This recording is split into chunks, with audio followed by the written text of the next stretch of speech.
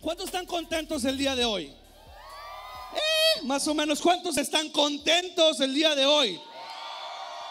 Estamos empezando el Congreso el día de hoy la verdad estoy bien, bien contento de estar con ustedes. Ah, ¿Cuántos tienen una hoja blanca y dónde están? Una hoja blanca. Sí, muy bien. Muy bien, las banderas de amor. ¿Alguien se acuerda de esa canción? Ah, ah, en esa, ¿y cuántos tienen una pluma? Una pluma, una pluma.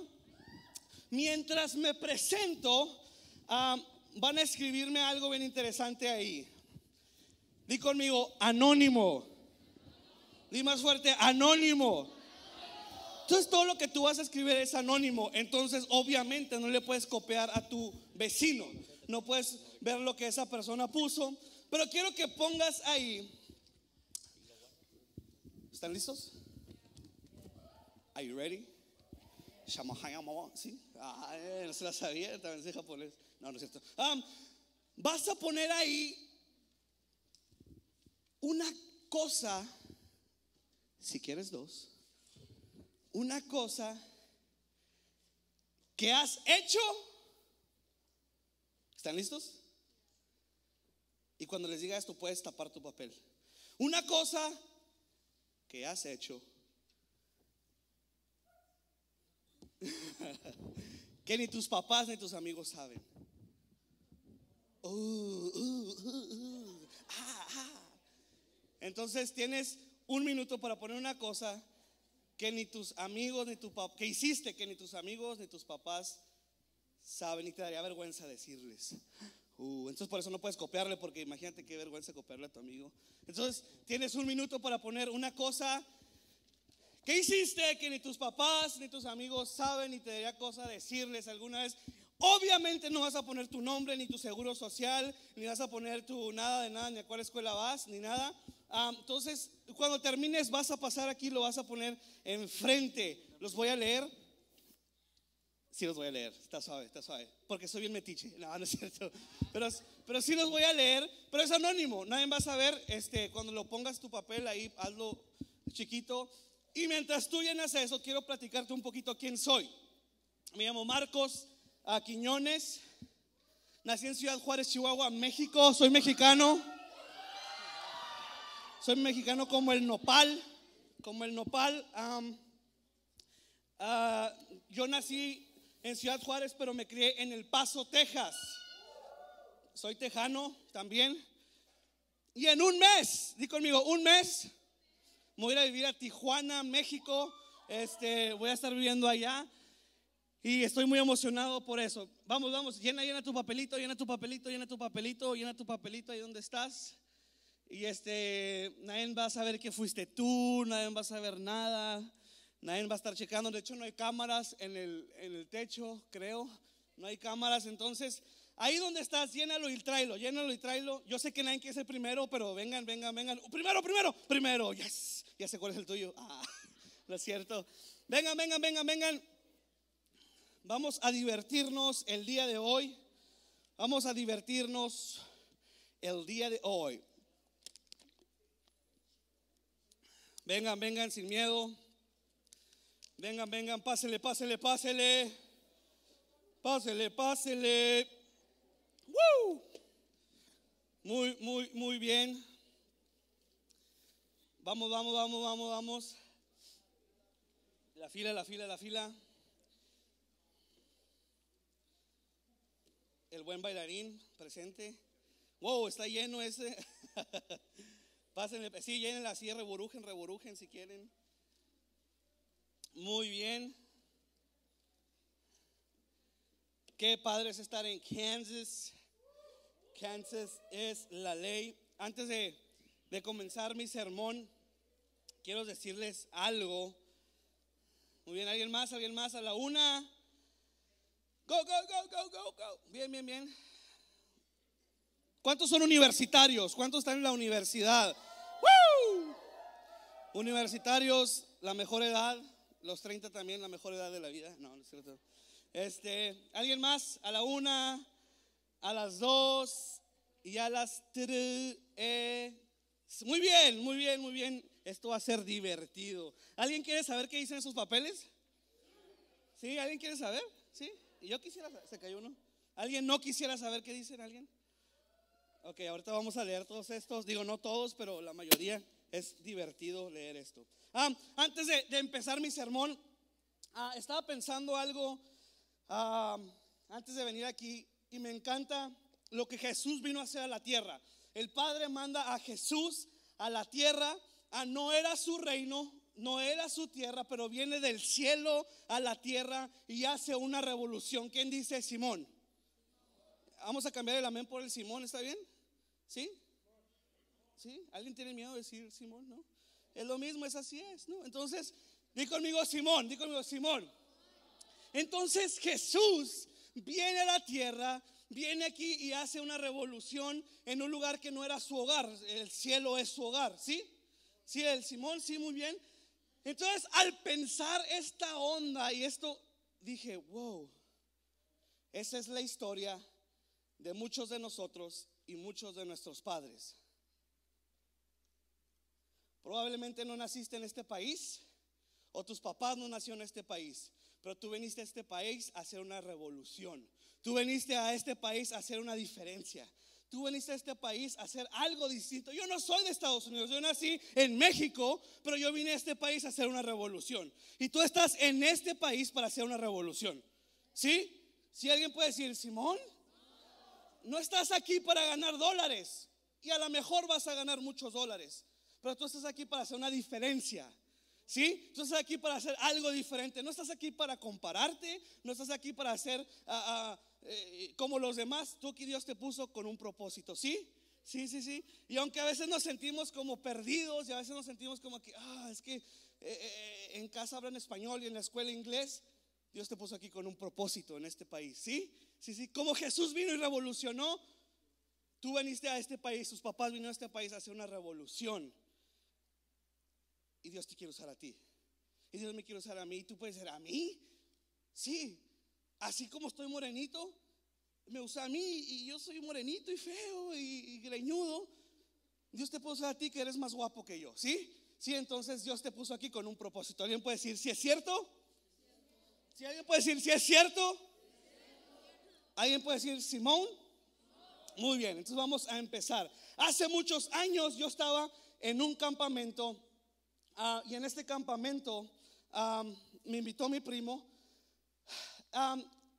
Y recuerdo que estaba en este campamento y, en este campamento había un trampolín. Ese trampolín, eh, ¿alguien sabe cuáles son los trampolines? Como una calma elástica que va para arriba. Por, ¿Sí? ¿Alguien sabe qué es eso? En este, ¿cómo se llama? Bouncing. Trampoline, yeah, trampoline, yeah, yeah. Entonces, yo estaba ahí, estaba en ese trampolín, recuerdo, era un campamento, yo tenía 14 años y yo estaba muy flaquito, ah, ya no se nota, y estaba este, más chiquito, ah, mis huesos estaban así chiquitos y era este adolescente chiquito. Y me acuerdo que en ese trampolín, todos se juntaban alrededor de ese trampolín. Entonces ahí estaban todos los chavos, todas las chavas, en ese trampolín la gente brincaba y los jóvenes más atléticos se echaban sus maromas. Estaba el trampolín y, nos daban tres vueltas en el aire y luego bajaban y luego todas las chavas, wow. Y luego yo, wow. Y, otro chavo, no, este, se subían dos chavos y, uno lo hacía opuesto al otro, brincando opuesto. Y, cuando uno brincaba, el otro brincaba más fuerte. Y luego le daba, tres vueltas, uno para abajo, y luego caía derechito. Y lo veía la chica y decía, ¿cómo estás? Y, yo, yo estaba como que, órale, qué padre. Eh, Entonces yo recuerdo que en ese campamento había una chica que me llamaba la atención, ¿sí? Este, yo estaba dientón y feo, así, ¡ah! y esa chava estaba así muy bonita y así, todos estaban alrededor de ella. Y yo dije, voy a subir al trampolín. I'm gonna do that, ¿sí? Y yo voy a subirme al trampolín me acuerdo que en ese tiempo yo tenía un peinado bien raro. Ah, me pelonaba todo y nomás me dejaba aquí en medio un, copete. Super ghetto, yo sé. Este, de hecho, mi pasaporte así está, eh, está así, luego donde está así, muy ghetto. entonces yo, estaban todas las chavas ahí viendo a los deportistas, a los que tienen como 49 cuadritos aquí. Y, yo estaba ahí y me subo, digo, es mi turno. ¿sí? estaba yo listo las chavas estaban ahí y le digo a mi primo que estaba más gordito, súbete conmigo. Porque cuando, cuando tú brinques, yo voy a brincar hacia arriba y desde arriba le voy a hacer, dame tu número. Y luego me va a tirar su número y lo voy a leer y todos van a saber que yo soy el mejor. Entonces estoy ahí, me subo al trampolín, la música se baja un poco, como que la gente empieza a poner más atención en ese trampolín. Y yo me pongo muy nervioso, empiezo a sudar. Y le digo a mi primo, ¿estás listo, vato? ¿Estás listo? Porque así habló cuando era adolescente. así, como bien raro. Y, y estoy en el trampolín, me subo y empiezo a hacer mi, mi, práctica, ¿no? Así, así, ¿no? Como danzando yo. Empiezo a alistarme. Y luego le digo, ¿estás listo? Y mi primo, dale. Y ya, y ya empieza esta película. Estaba la chica que me gustaba. Estaban los hombres fuertes con 46 cuadros en su estómago. Estaban los maestros, un campamento con 200 adolescentes. y yo estaba ahí listo para demostrarles que yo era el campeón oficial del trampolín. nunca había brincado en mi vida en un trampolín. Y, pero dije, esta es la vez que todo va a cambiar. Entonces me subo a este trampolín, estoy arriba de ese trampolín y, empezamos yo y mi primo, y mi, para arriba, para abajo, para arriba. Y luego de repente el, el, el, el brinque, yo brinco un poquito más, más, más. Y yo ok, mira, no, no, no, quería, no he alcanzado la, la, la, altura que quería, pero ahí va. Y, y, de repente mi primo, otra vez, otra vez. Y ya me estaba poniendo nervioso. Las, el sudor estaba por todos lados. Y ya, ya, ya olía a, a, a, sudor y sobaco bien feo. Y estaba, estaba, estaba, estaba brincando. Y de repente otro brinco y un poquito más arriba yo. Ya, ya lo dominé, ya lo dominé. Y en una de esas estoy brincando y mi primo brinca junto a mí y no sé cómo sucedió. No sé cómo sucedió, pero no pude brincar con los dos pies. Y al eso suceder, solo brinqué con un pie. Y al brincar con un pie, me salí fuera del trampolín. Me salí fuera del trampolín, caí y toda la gente empezó a decir, ¡Ah, todos empezaron a burlar. La, chava que estaba ahí empezó a reírse, roja, así. Y todos empezaron, ¡eh! me, levantaron y me echaron el trampolín de nuevo y, y, me traumé. Y cada vez que veo un trampolín, me acuerdo de esa historia. Voy por Walmart y veo ese trampolín y ¿Te acuerdas cuando fuiste a ese campamento y te caíste y todos se burlaron de ti? ¿Te acuerdas de esa chica? Te odia hasta ahorita. Y, y, todas esas ideas bien piratonas. Y esta historia, pues probablemente es así lo que me sucedió. Pero ves, ves, a veces hay cosas que suceden en nuestra vida que pareciera como si la vida se detuviera por un segundo. Hay cosas que pasan en la vida que nunca te imaginaste que iban a pasar. Yo nunca imaginé que me iba a caer ese trampolín. De hecho, yo en mi mente pensaba que toda la gente iba a aplaudir y iba a decir, wow, que ya no predique nadie, él que predique. Yo era un adolescente, ¿no? Y, y hay veces que cosas que suceden en la vida, que pasan de repente, que a veces pareciera que la vida se detuviera. A veces pareciera que la vida se pausar. ¿Alguien ha vivido esas experiencias? ¿Alguien ha vivido ese momento donde tu vida es padrísima, tu vida es súper chida, tu vida eh, eh, eh, creciste súper bien, pero hubo algo que pareciera como si la vida se detuvo? Ahí donde estás, cierra tus ojos. Vamos a orar. Señor, gracias por el día de hoy. Te pido que tú tomes el control Ah, de los próximos minutos que voy a estar compartiendo. Ah, habla tú, Espíritu Santo, habla tú. Ah, yo no quiero decir nada que sean mis propias ideas, pero habla tú, Espíritu Santo. limpia mis labios, limpia mi mente, mi corazón. Y el día de hoy declaro que jóvenes se encuentran contigo.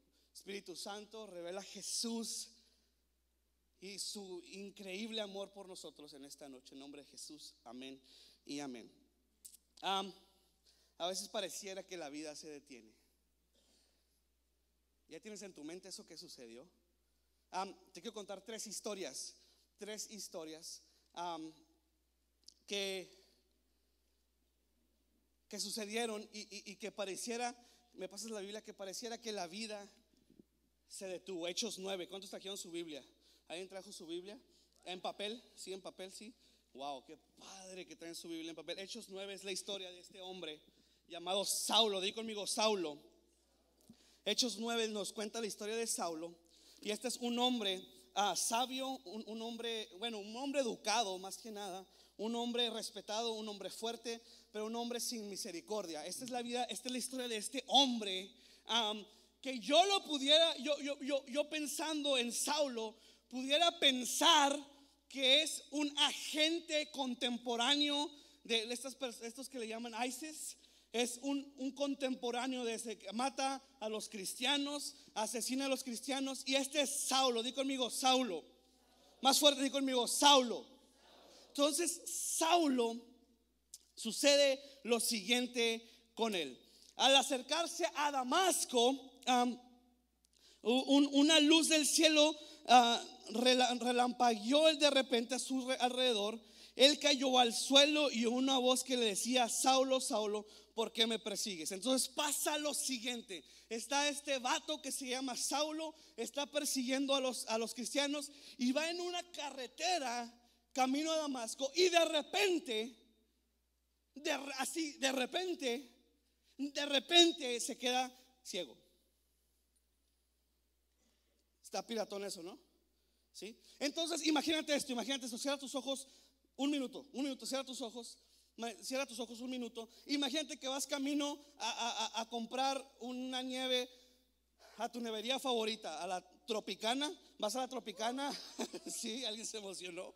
Ah, vas a la Tropicana a comprar tu nieve favorita, vas caminando y de repente, de repente, de repente, te quedas sin pies y caes de pompis en el suelo. ¡Ay! Y dices, ¿y mis pies? Entonces tú piensas, ok, ¿cómo voy a caminar?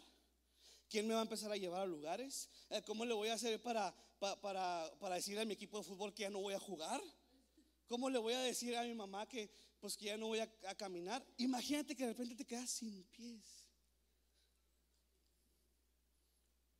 Te cambia la vida, ¿no? Imagínate eso, imagínate si juegas fútbol americano y de repente quedas sin un, sin, sin un brazo. Así de la nada se desaparece completamente así.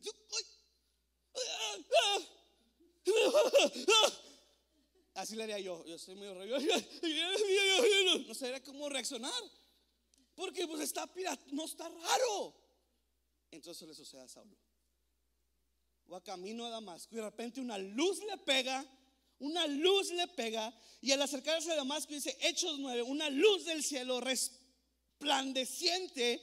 Um, de repente. Um, de repente llegó a su alrededor, él cayó al suelo y una voz que le decía, Saulo, Saulo, ¿por qué me persigues? Y él pregunta, ¿quién eres, Señor? Dice, yo soy Jesús a quien tú persigues, le contestó la voz, levántate y entra en la ciudad y allí te diré, se te dirá lo que tienes que hacer. Los hombres que viajaban con Saulo se detuvieron atónitos porque oían una voz, pero no veían a nadie. Saulo se levantó del suelo, pero cuando abrió los ojos no podía ver. Así que lo tomaron de la mano y lo llevaron a Damasco. Estuvo ciego tres días sin comer ni beber. Entonces, este imagínate esta historia. Se levanta y este hombre, este hombre que era muy educado, este hombre que era fuerte y que no tenía compasión, que era así, se queda ciego y ahora lo tienen que encaminar. Imagínate esa onda. La vida se le interrumpió. La vida, de repente, se le interrumpió. Tenía toda su vida planeada probablemente. Ya sabía dónde iba y qué iba a hacer. Tenía una reputación en la ciudad y de repente la vida se interrumpió. Una vez más te pregunto, ¿se te ha interrumpido la vida? ¿Alguna vez has llegado a ese momento donde dices, ¿qué pasó? Probablemente no te quedaste ciego, pero se te interrumpió la vida. Hay una mujer en Lucas 7, 11 que también se le interrumpe la vida. Lucas 7, 11 dice lo siguiente, es una, una mujer que, que su hijo se muere y dice lo siguiente.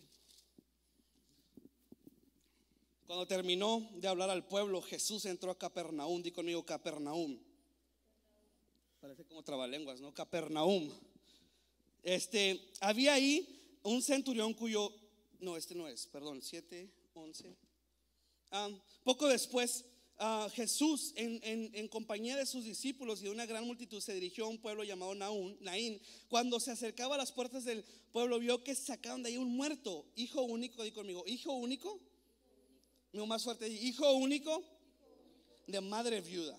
La acompañaba un grupo grande de la población. Al verle, el Señor se compadeció de ella. ¿Ves? Viene un grupo y viene una mamá llorando. Y era, era su hijo que estaba, se había muerto. Pero aparte que su hijo se había muerto, su esposo se había muerto. Entonces era viuda y, y ahora nomás tenía su hijo y ahora su hijo murió y en un momento la vida se le interrumpió. Básicamente esta mujer no tenía futuro. Esta mujer no tenía futuro porque su esposo, esa persona que, traía el dinero a la casa, que traía comida a la casa, muere. Y la única esperanza que ella tenía es que probablemente su hijo naciera, creciera y, y su hijo le apoyara a ello, pero ahora su hijo muere. Y en un momento la vida se le interrumpe a esta mujer. Y por último, vámonos a segunda de Samuel. Segunda de Samuel.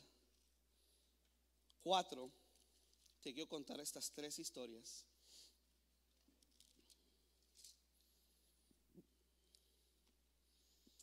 Segunda de Samuel 4 dice, por otra parte, Jonathan, hijo de Saúl, tenía un hijo de cinco años llamado Mefiboset. Di conmigo, Mefiboset.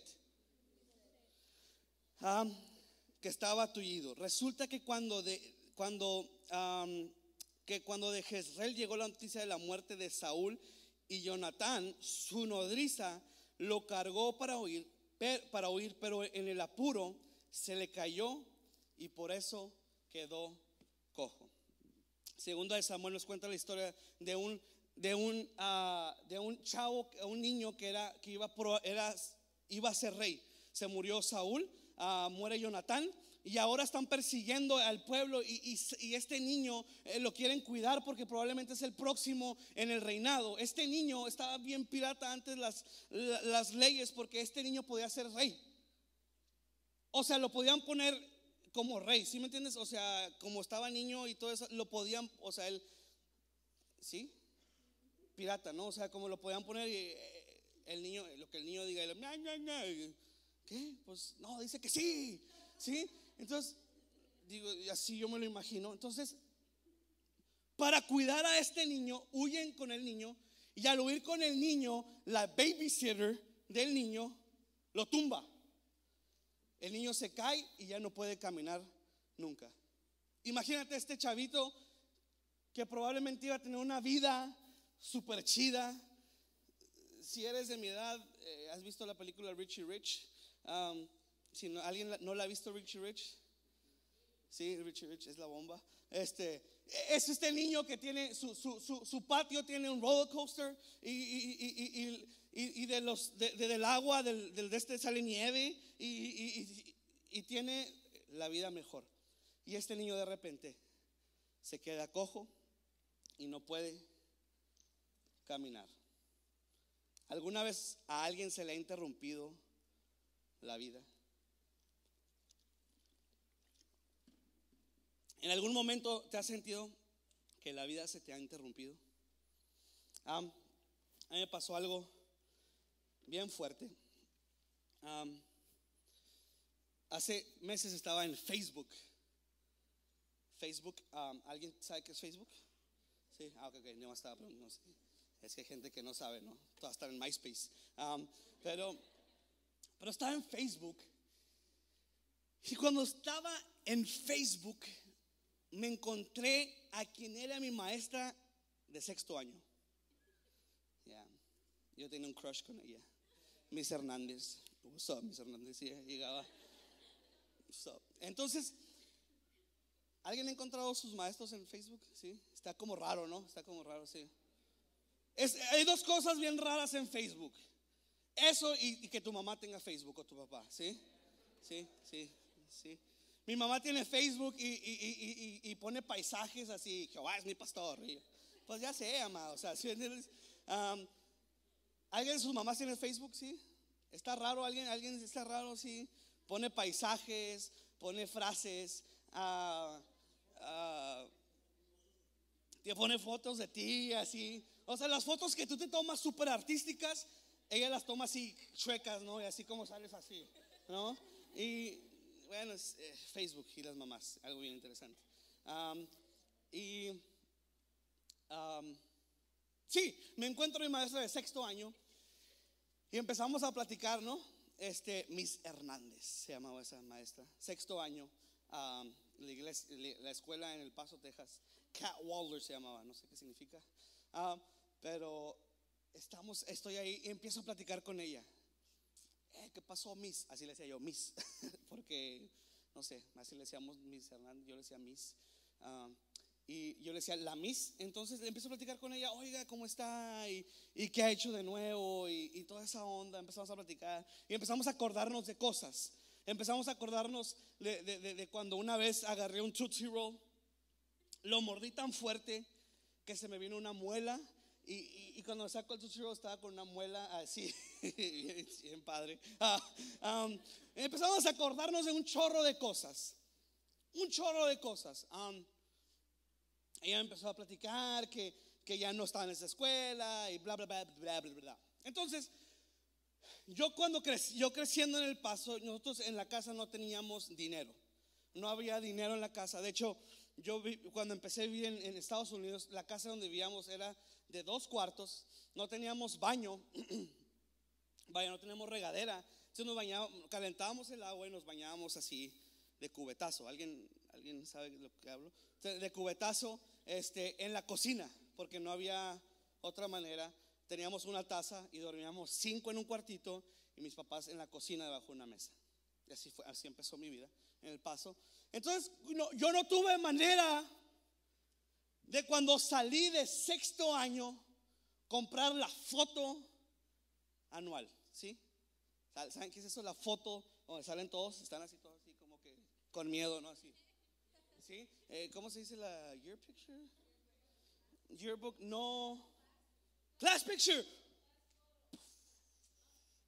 Class picture, I love that. Sí, class picture. Sí, donde te ponen así como en este y lo está así uno, ¿no? Y luego así te pone, el, Señor te dice derecho, y luego tú estás así, ¿no? Con miedo, ah, y, está otro así, de class picture. Entonces, entonces como no la pude comprar, se lo pedí, ¿no?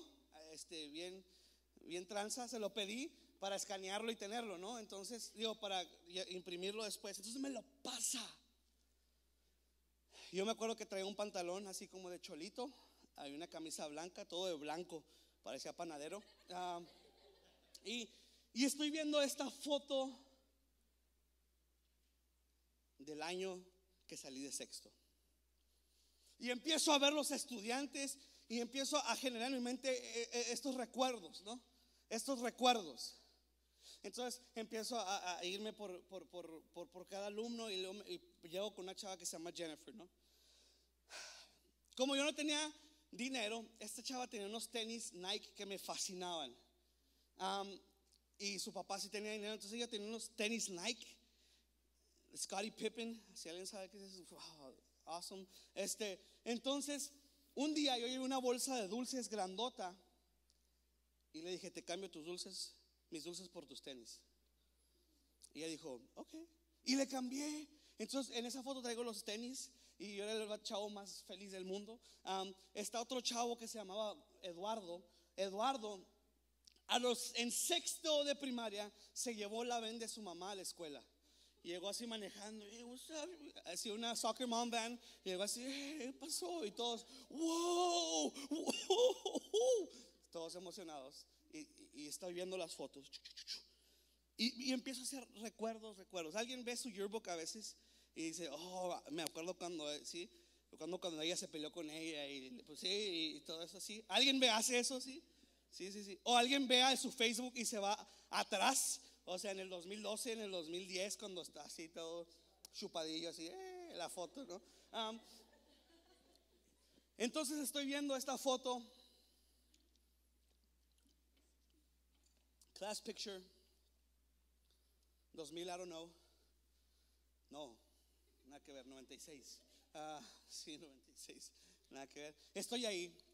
Estoy viendo esta foto. Y de repente llego a este chavo que se llama César. Cuando todo era un recuerdo bien padre, cuando llego a ver a ese chavo que se llama César, algo gaj empieza a suceder en mí. Ah, y empiezo a recordar esto. Empiezo a recordar esto.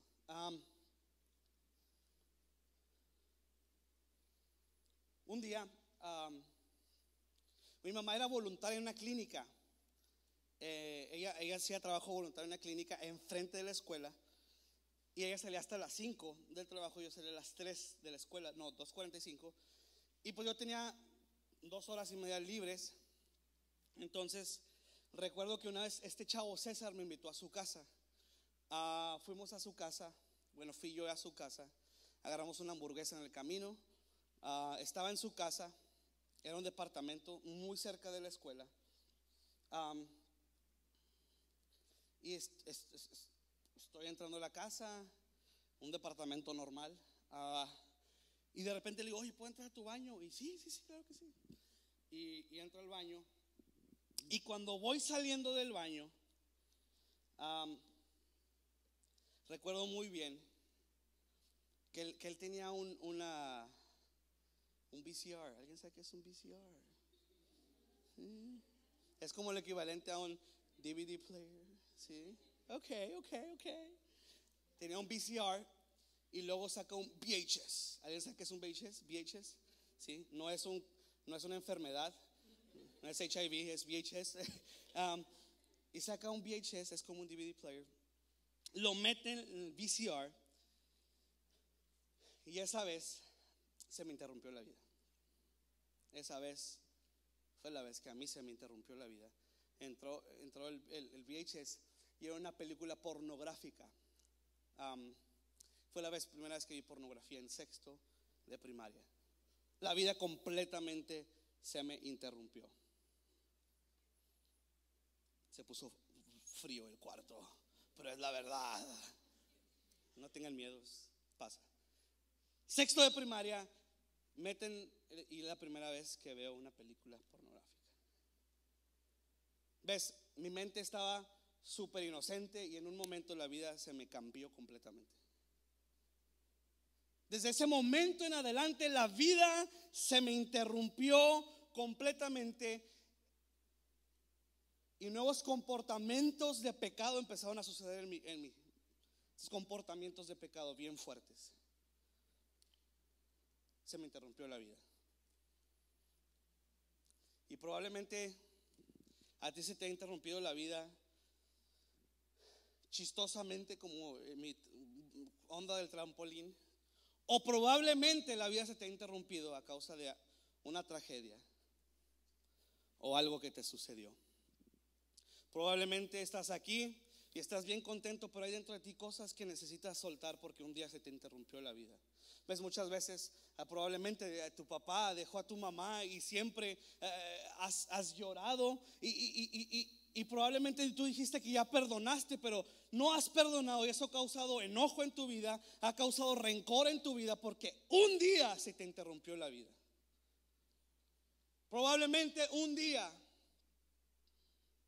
alguien te lastimó, alguien hirió tus sentimientos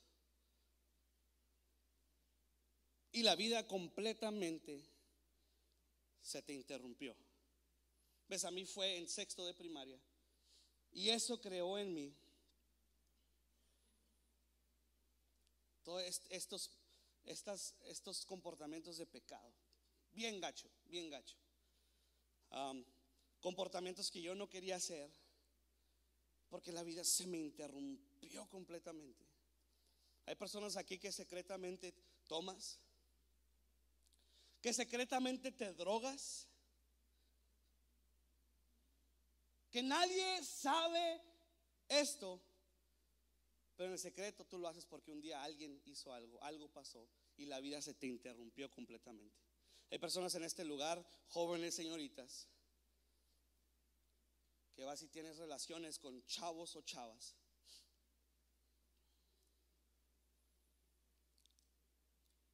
Y no es necesariamente porque quieres estar ahí, es porque hay una soledad tan fuerte en tu vida, una soledad tan agresiva en tu corazón, porque un día la vida se te detuvo. Hay personas en este lugar, hay, chavos y chavas que la única persona que con la que están y, esa persona que encuentran identidad es una chava, un chavo. Lo único que quieres es que alguien te diga algo bonito. Porque probablemente nadie te ha dicho nada bonito, nadie ha dicho algo bien de ti. Porque un día alguien dijo algo tan horrible de ti. Y la vida se interrumpió. La vida se interrumpió. Probablemente eh, murió papá o murió mamá. Y tú sigues batallando con eso. Porque ves, muchas veces la vida se nos interrumpe.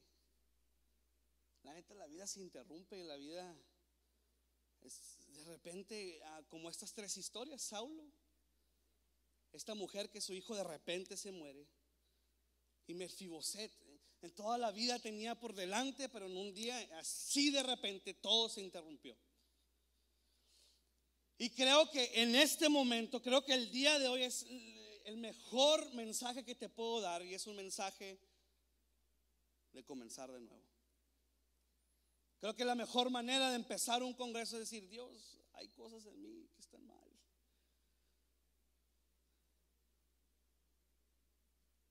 Hay cosas en mí que están mal y yo necesito de Jesús. ¿Ves? Lo más increíble de esto es que aunque se nos haya interrumpido la vida, aunque hemos sufrido en la vida, aunque hemos pasado por momentos difíciles, siempre hay una perfecta solución. Siempre hay una solución y eso a mí me fascina. Porque la solución no son tus amigos. La solución no, no, no es ah, con quién te juntas. La solución no es cuánto dinero ganan tus papás. La solución a nuestra vida siempre va a ser Jesús. Siempre va a ser Jesús. Siempre va a ser Jesús. Siempre va a ser Jesús. Esa persona que te ama.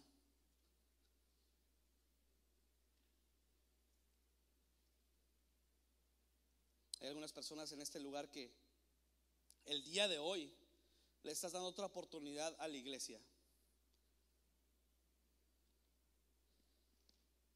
Y vengo a decirte algo, no le des otra oportunidad a la iglesia, dale una oportunidad a Jesús. La iglesia te va a fallar. La iglesia, la neta, una hermana va a decir algo mal de ti. Una hermana va a decir, ah, es que no se debe vestir así. Otra hermana va a decir, no, es que lo que dicen los hermanos, habla spanglish, no sé. Dar una oportunidad a Jesús. Él es bueno. Él sí es fiel. Y Hechos, Hechos ah, me fascina lo que, pasa, lo que pasa en Hechos 9, versículo 17. Ananías se fue y cuando llegó a la casa le, le impuso las manos a Saulo. Le dijo, hermano Saulo, el Señor Jesús que se apareció en el camino me ha enviado para que recobres la vista y seas lleno del Espíritu Santo. Chécate esto, chécate esto, ponme mucha atención. Me fascina esta, esta, historia porque este, este matón de cristianos se encuentra con otro, un hermano, y este hermano dice que este hermano le, impuso las manos a, Saulo. ¿Se acuerdan de Saulo, el que estaba ciego? Viene y le pone las manos y Saulo empieza a ver y, y, Ananías le dice, el Señor Jesucristo a que se te aparece, en el, que se te aparece en el, camino me ha enviado para que recobres la vista y seas lleno del Espíritu Santo. El día de hoy oro que tú recobres la vista. Que, probablemente lo que se ha interrumpido en tu vida, tú recobres la vista. Que a lo mejor que, lo que ha sucedido y te has cegado y te has amargado y te has entristecido, que tú el día de hoy digas, no, yo necesito algo diferente. Yo necesito algo diferente. Y ves, Jesús lo hizo con Saulo. Podríamos decir que Saulo fue uno de los peores enemigos de Jesús. Y Jesús, aún con su amor y gracia, dice, hey, recobra la vista. Recobra la vista. Es, es, esta mujer, esta mujer, ¿se recuerdan? Esta mujer que se le murió su chavo, ¿sí? ¿Se acuerdan? ¿Sí? Y se encuentra con Jesús en el camino. Y Jesús dice algo del que quiero decir hoy el día de hoy a tu espíritu. Y Jesús le dice, no llores más. Hay muchas personas aquí que están llorando en silencio, están llorando eh, eh, en su cuarto. Nadie lo ve, nadie sabe, nadie pensaría que tú estás pasando por eso. Pero muchos de ustedes en silencio están llorando. Y estoy convencido que el día de hoy el Espíritu Santo está hablando a tu corazón y te está diciendo, no llores más. No llores y a mí me fascina Jesús porque Él agarra a nosotros imperfectos, pecadores, y nos transforma. Nos transforma completamente. Y si tú el día de hoy dices, sabes que yo soy pecador, yo estoy eh, y la estoy regando, la verdad, hoy en la mañana la regué. Ayer en la noche me puse borracho, me drogué, vi pornografía, lo que sea, tú eres el campo perfecto para Jesús. El campo perfecto para que Jesús obre en tu vida. Y eso me fascina de Jesús. Eso me fascina Jesús. Pido al Espíritu Santo que venga en este momento y como ha estado en este lugar, que empiece a mover tu corazón.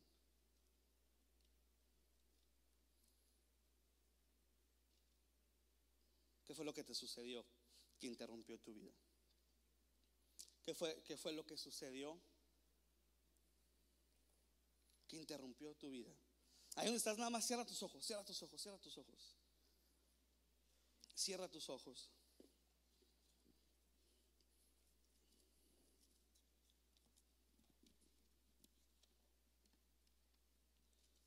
Cierra tus ojos.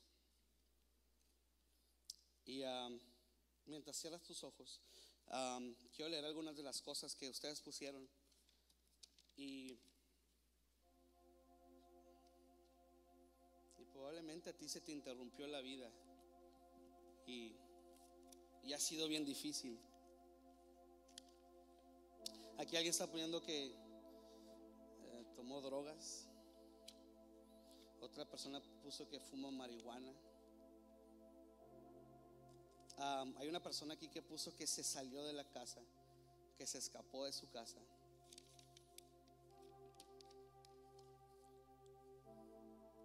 Y solo quiero leer estas, esto, estos porque muchas veces esto que tú pusiste aquí es algo que te sucedió a ti y por eso eres, eh, haces lo que haces porque algún día alguien te hizo algo y ha generado estos, estos, estos patrones de comportamiento. Alguien puso mentir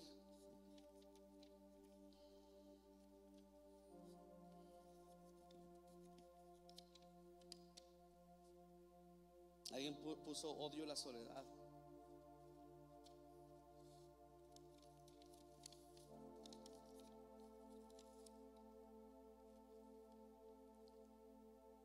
Puso ser infiel.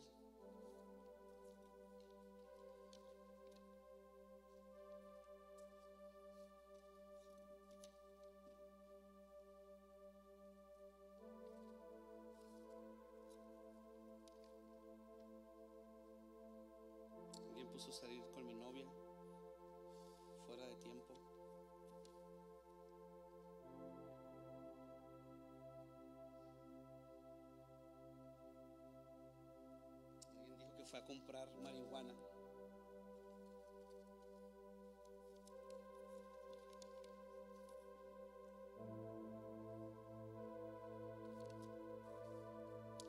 Quiero preguntarte qué fue lo que interrumpió tu vida.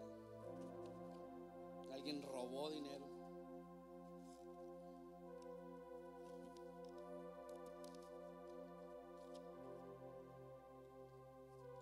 Alguien dice que le rompieron el corazón. Fue, qué, qué es lo que a ti te sucedió? ¿Qué es lo que, que- que hay en tu corazón? Que necesitas entregárselo a Jesús. Sigue con tus ojos cerrados, sigue con tus ojos cerrados. Hay muchos de ustedes que necesitan decirle, Dios, aquí está esto, ya estoy cansado. Hay algunos que estamos aquí que no sabes por qué odias a tu papá o odias a tu mamá. No sabes por qué, o sea, y hay unos que sí saben. Y si pudieras seguirlo odiando, seguirías odiándolo. Pero estoy bien convencido que el día de hoy, el día del Señor te quiere hacer libre, quiere purificarte. Y creo que es un día perfecto para decir, empiezo de nuevo. Creo que es un día perfecto para que tú en tu corazón digas, empiezo de nuevo.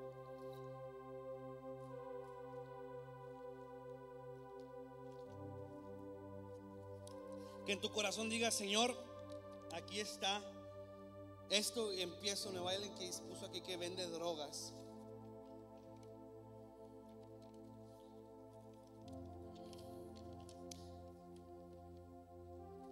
Alguien que se pelea.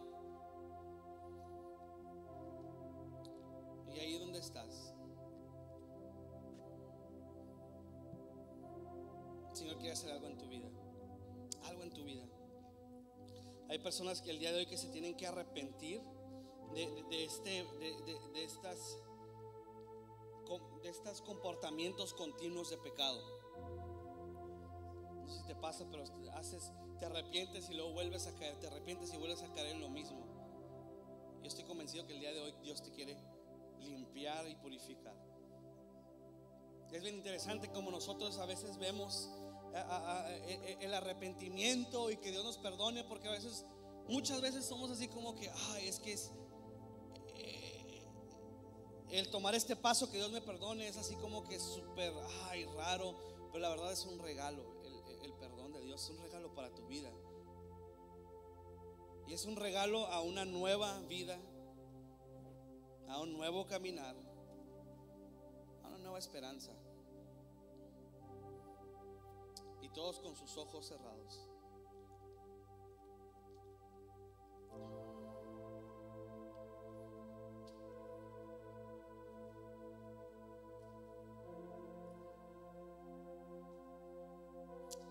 Tú estás en este lugar, estás en este lugar, y quiero hablar por esto en específico, estás en este lugar y hay enojo en tu corazón. La verdad, tus papás te dicen algo y, algo en dentro se enciende y, te enojas y hay un enojo bien feo en tu corazón.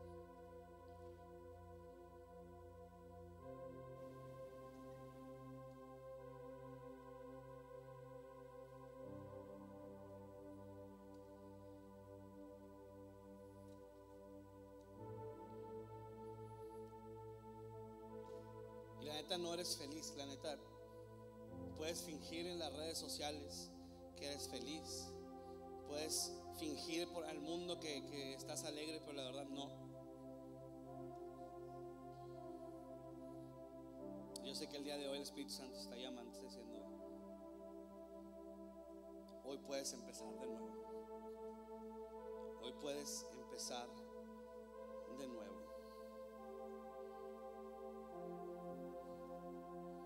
Si esta es tu historia, si esto es lo que pasa dentro de tu corazón, hay un enojo, y a veces ni sabes ya por qué, pero ya te consume, ya no eres contento, ya no eres feliz. Y es recurrente, o sea, significa que siempre está eso y ahí donde estás. Tenemos que levantes tu mano derecha. Si este eres tú, levanta tu mano derecha.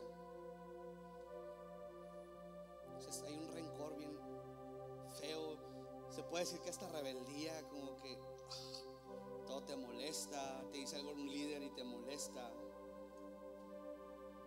es porque probablemente un día se interrumpió la vida.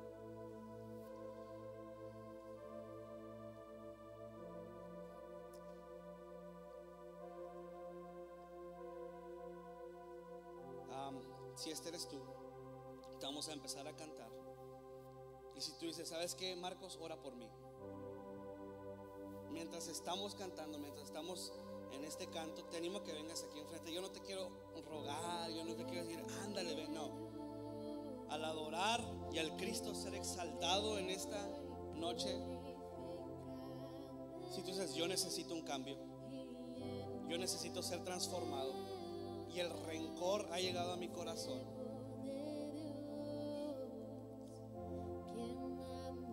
Mientras cantamos, te animo a que vengas aquí